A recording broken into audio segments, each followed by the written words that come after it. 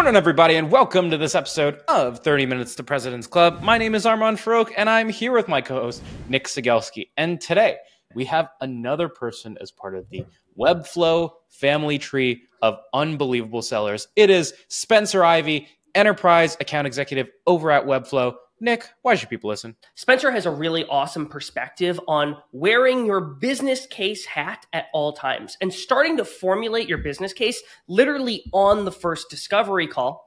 And then not just building your business case in secret in the shadows, actually surfacing that to your prospects so they see the work that you're doing and so you can co-create things. And then he talks about how that trickles down into what he shows and does in the demo and how that impacts how he negotiates a longer term strategic deal rather than a very short deal that doesn't impact his commission check as much. It's not a three year deal. It's not a two year deal. It's not a one year deal. Folks, it's an episode of 30 Minutes to President's Club. Let's ride. All right, Spencer, welcome to the show. We start every single episode with your top three actionable takeaways. So let's get your three. Number one, re engage prospects with an idea. So, this is a great tactic to use mid cycle to re- regain momentum in your deal. Instead of just the standard, hey, just following up, you can really intrigue and pull your prospects in by telling them that you have an idea you want to share with them.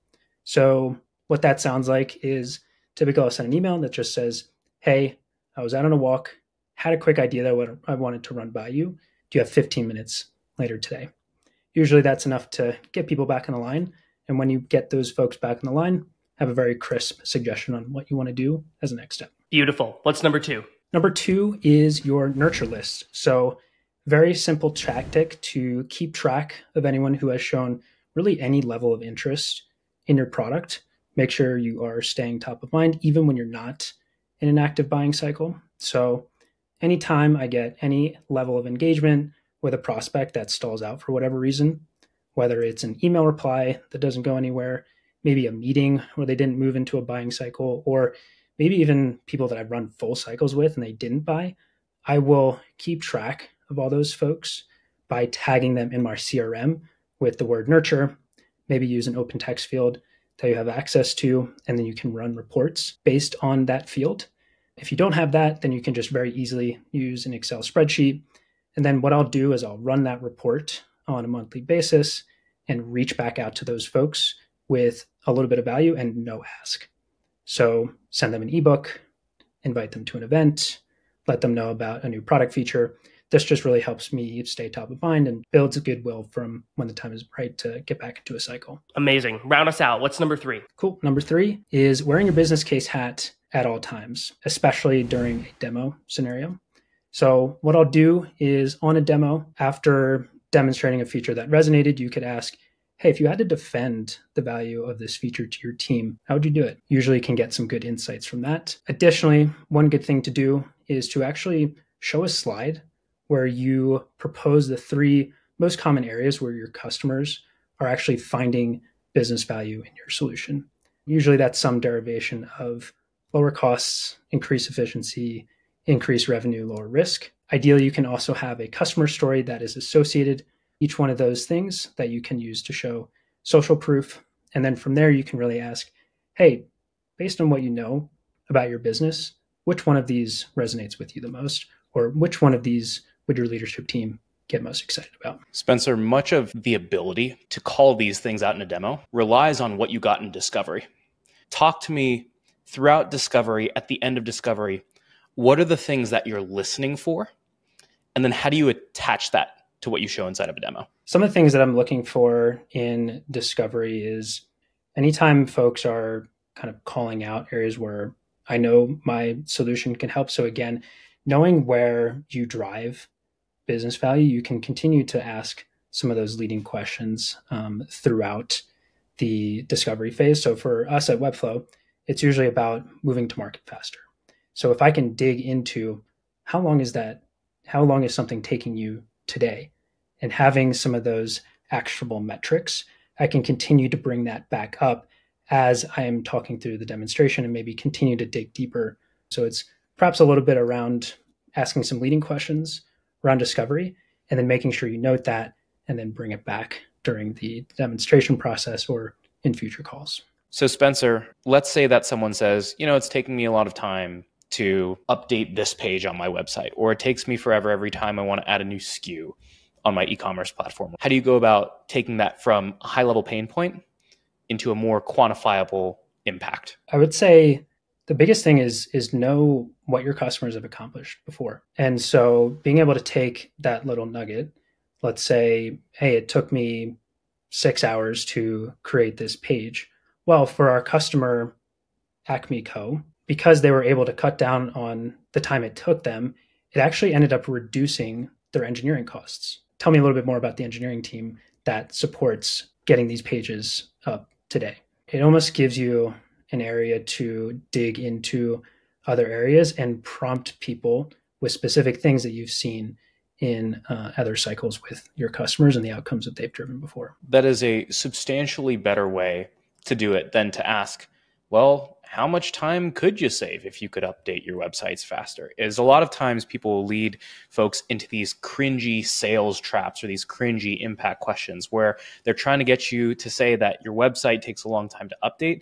And then they try to bring you through a live math equation, which is just extremely excruciatingly painful. And oftentimes your prospects don't even have the answers to those things. But what you did instead is you said, awesome. Typically, when someone is experiencing pain around this type of thing, we know that that usually means it takes this much engineering time. And so you can actually spell out the case for themselves because you know the answer to those things. And then you can have them validate those things. The only other thing that I want to call out that Spencer is doing here is you're right. You are showing them the path that they need to follow because you have thought through the okay, here's actually what is going into this problem. We need to know about the team that is causing this problem, but I know we need to ask about that. And so you just point them where we need the information and get it from them rather than asking an extremely leading, cringy question about metrics that doesn't actually help them get a better understanding of the problem. That's actually what you're doing. So, Spencer, before we jump over to demo, let's say you do this two or three times. It's like, okay, we know that this takes this much engineering time. We know that there's another pain point over here talk to me about how you wrap up this discovery call and sort of how that sets up the demo.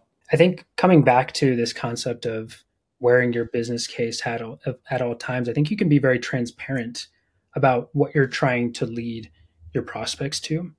Instead of hiding and trying to put something together behind their back, just very transparently say, hey, the reason I'm asking a lot of these questions and why it's great that I've gotten some of this intel from you today is because I imagine a point if you continue to like what Webflow has to offer that you're going to have to put a case together for your superiors or to get budget approval. So what I'd like to do in future conversations is continue to come back to this concept. And if it's okay with you, at some point, what I imagine us doing is actually putting together a document that spells out what the business case would be. If you have a template that you use for that, great. If you don't, I'd be happy to guide you through what some of my other customers have done. So I think it's really just about being transparent about where you're going to take this and why some of this information is important to continue gathering and set the expectation that you will continue to do so. So you're at the end of the discovery call, and what you're doing is really smart here, which is the effort that you are putting into the deal. You're not doing it behind closed doors, you're making it public and apparent to the customer you're probably starting to build a business case regardless behind the scenes, but you're actually pulling it out of the shadows and showing them, hey, I'm working on this thing. On the discovery call, are you like, hey, I want to send you over my initial POV, I'm going to send you what I've put together? Or are you just planting the seed that this thing is going to happen? I guess I'm curious how much back and forth happens with you and the customer, knowing that they haven't even seen a demo yet. I think at this point, especially for the cycles that that I run here, it's more of a strategic long-term play. So I'm not necessarily going to send a succinct POV right then and there. However, what I will do is start to plant some of those seeds to your point. I will perhaps call it out in a follow up email. Hey, we covered these points. Maybe it's taking a long time to spin up these pages, or hey, you're spending a lot of engineering time to get those pages created. Let's continue to dig into that in future conversations. So it's much more about planting the seed. And of course, it kind of depends on what you get out of that discovery conversation and how deep you go. But in general, yes, it's more about planting those seeds to then come back to it and be a little bit more specific in future conversations. Well, a lot of people think that because you need to get business impact and discovery, that literally means you need to go through the full ROI equation in a discovery call. And that is far from the case. When I was at Pave, I was selling compensation software. And a lot of times the goal was to get someone to say, okay, we've lost a few employees, or we are generally struggling with winning candidates. But I usually couldn't get all the retention metrics. What I did is I got the stories that showed me the inputs to the business case in the future. And then you use the demo to firm those things up and make it real. And then you put actual numbers behind it on that third call in the business case call itself. Great. So let's actually go fast forward to that demo, Spencer. So you finish your discovery call, you have a general sense of what might go into that.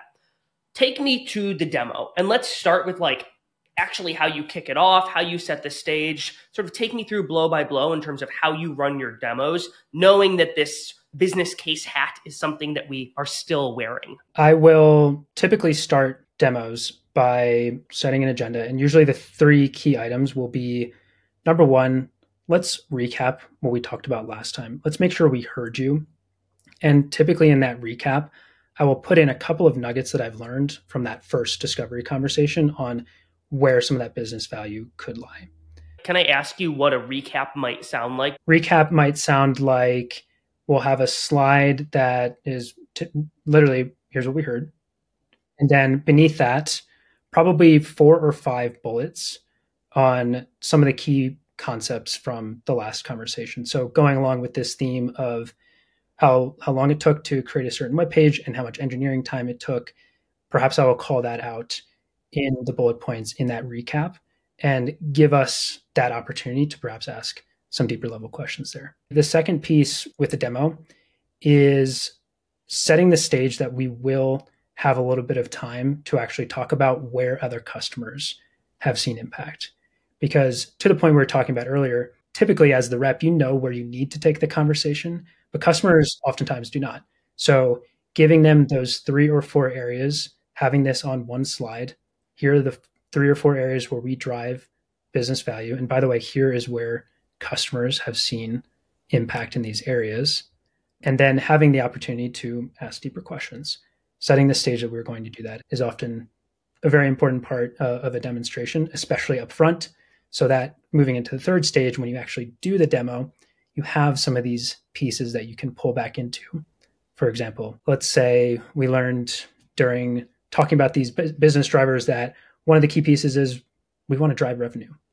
Okay, well, because we talked about driving revenue with this feature, we're going to be able to enable your team to move a lot faster, which means they're going to get more campaigns out the door, which means more lead flow, right? So making sure that you have those things you can relay your demonstration back to because it's not just like a generic, hey, here's this cool feature.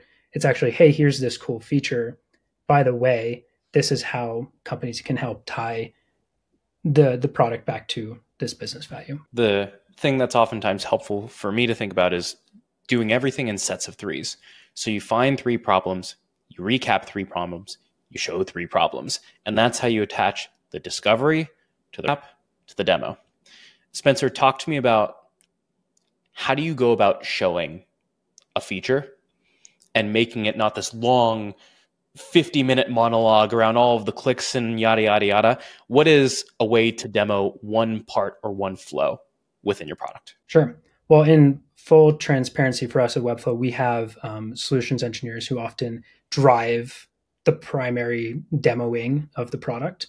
So the way I think about this is when I have my solutions engineer demoing a, a certain part of the product, I will often jump in when I notice some sort of engagement from the audience.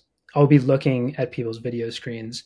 If I get a raised eyebrow, if I get people nodding their heads, I might jump in and say, hey, why don't we pause here for a moment? I noticed that that seemed to be of interest to you. How are you in, envisioning this could help your team?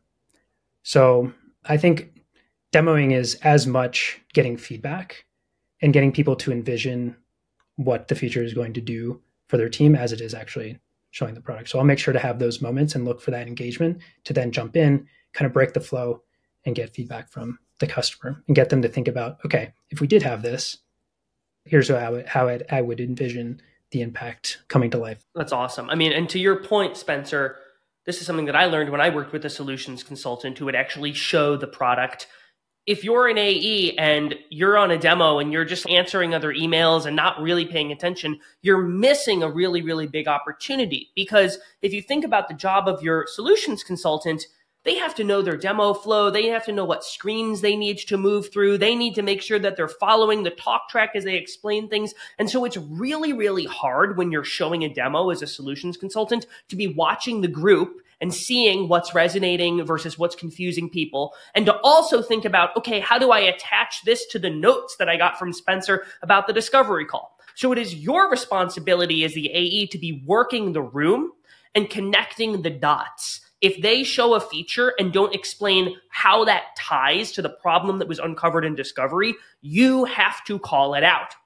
And then the other thing you're doing that's really smart is instead of pausing and being like, oh, I saw that resonated, any questions about it, you're asking a question of, hey, how do you envision using this? Which now, when they actually speak out loud, here's how we would do this, they're taking ownership of the platform you're showing which now they almost feel like they're using it. Are there other questions you're asking or things that you're doing during this demo to get more engagement out of the group that you're in front of?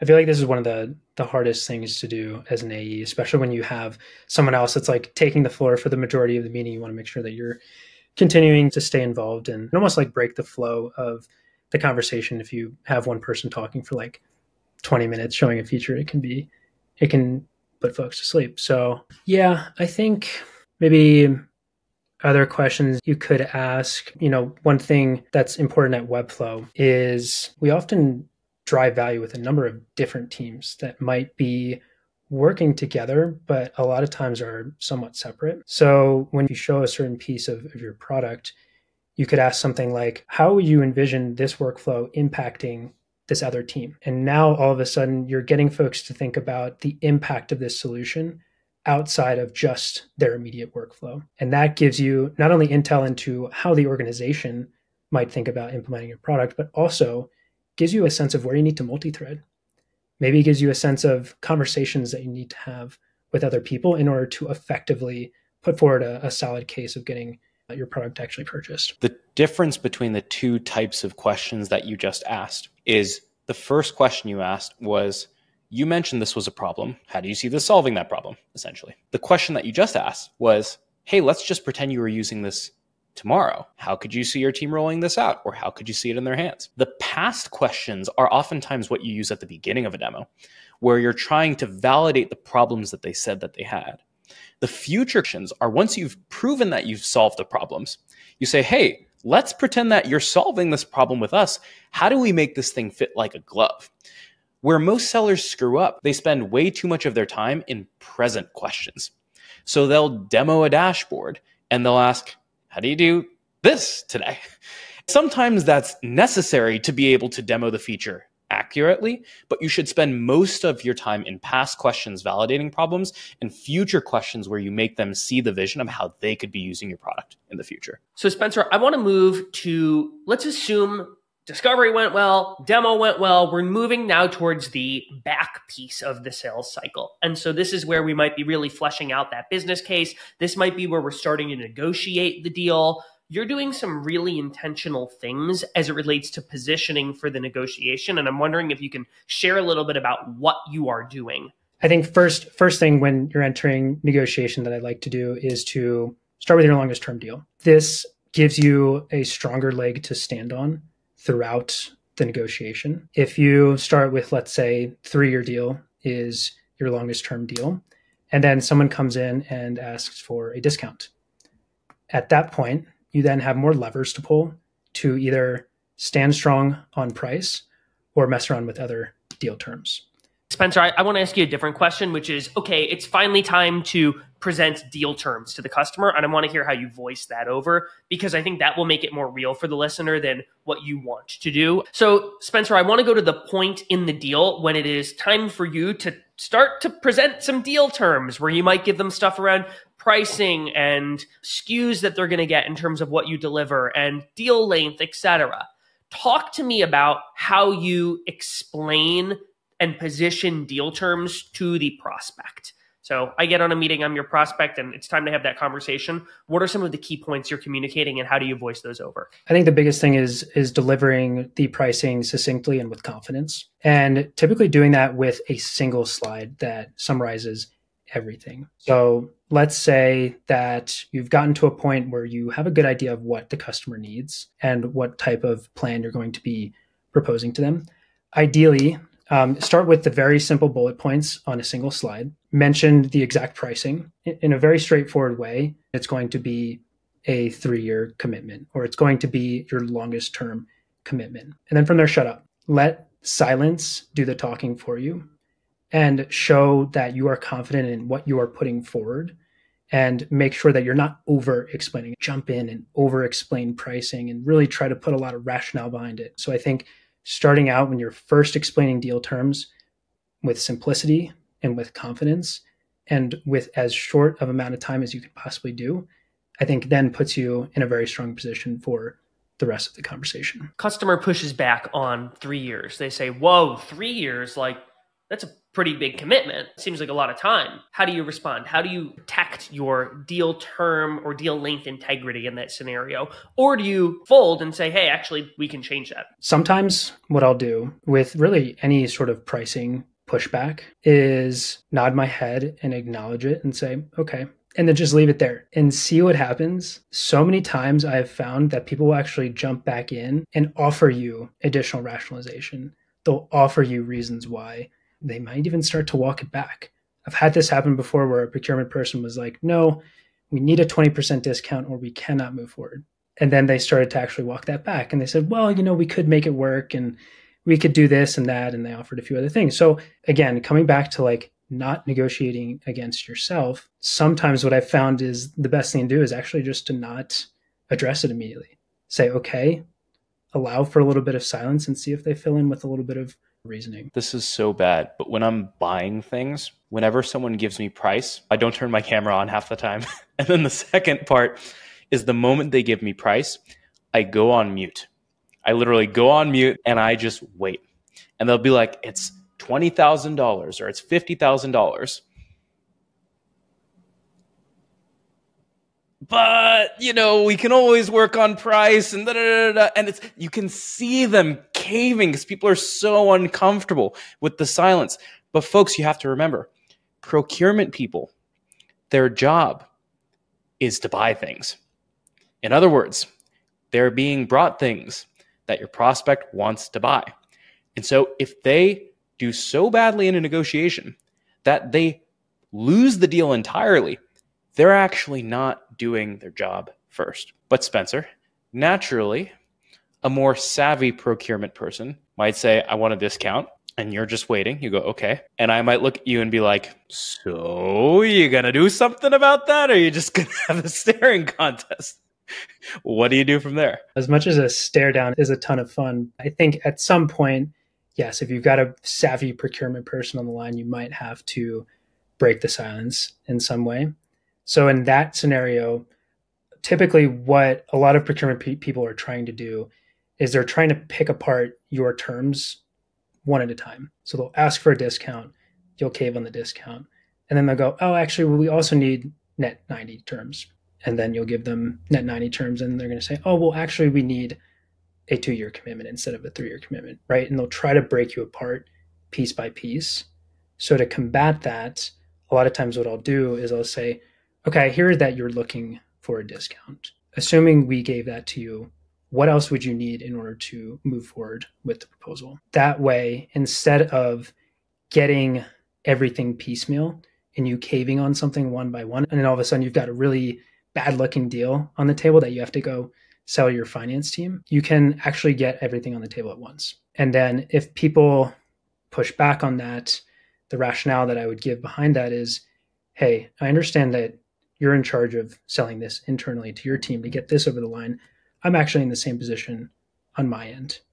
Once I understand what you need, I need to go sell this to my team internally. So, in order to help you get what you need, it'd be great to understand what pieces you need on the table in order to formally move forward. I really love your positioning there of saying, hey, you and I have the exact same job because it actually forces them to have a little bit of empathy. They're sitting there being like, all right, they have a team who's putting pressure on them to whittle you down and get the best possible terms. And when you show them that you're doing the same thing and that you only have one shot, it makes it really hard for them to then pepper you again in the future because you've shown I'm doing the same thing as you.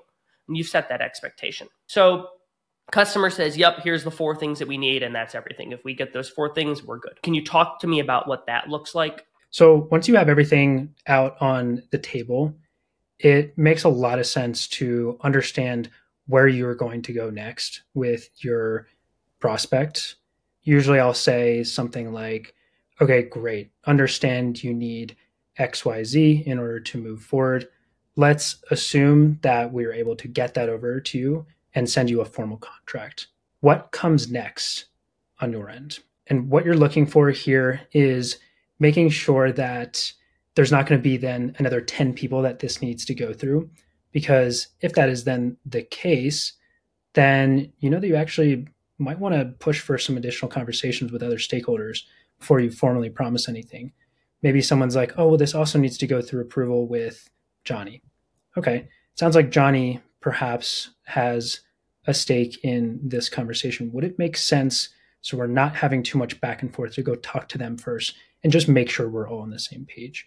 So you're looking for some of the things that might derail you and also just to gut check yourself that maybe this deal isn't done. Maybe there are other things that I need to look into and have a clear sense of, you know, this actually getting to be a done deal after promising all these terms. That's really good. That will save you a massive amount of time and headache because there is nothing more frustrating than going back and forth and back and forth with who you think is your buyer only to find out deal terms approved, but now you have three other presentations to a skeptical Johnny.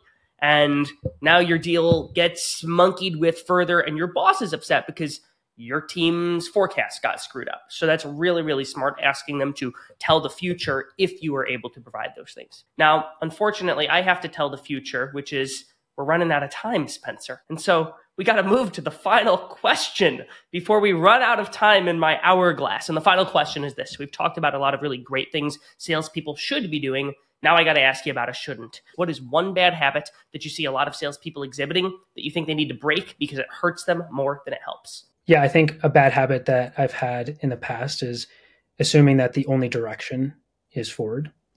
So at the end of every call, I often give folks the opportunity to opt out hey, are we ready to move to the next step, whatever it is that you suggested, or are we not quite there yet? And by giving those folks the opportunity to opt out, they often opt in. Amazing. Spencer, thank you for joining us. It is time for your two by two recap email from this episode with Spencer Ivey. Number one is when your solutions engineer or solutions consultant is showing a demo, that is not your time to catch up on email and eat lunch. You need to be playing DJ and calling out when they show a feature, how it connects to something you learned in discovery. Or when they show something and you see someone look confused on your prospect's end, you need to call it out and make sure there's a discussion to clarify things. It is too much work to put onto your SC to be the one watching the room and showing the demo. Number two is if you're working on a business case, make your effort visible to your prospect and let them know. Don't work alone in the shadows. Show your prospect the hard work you're doing on the deal and it will buy you spades in reciprocity. Number three, you want to gather those inputs to your business case in discovery, but you don't have to build the whole business case right there. You'll make it real in demo and then you'll put numbers behind it in the final business case meeting. And then lastly, number four, I just want to be quiet right now because the takeaway is when someone asks for a discount, be quiet.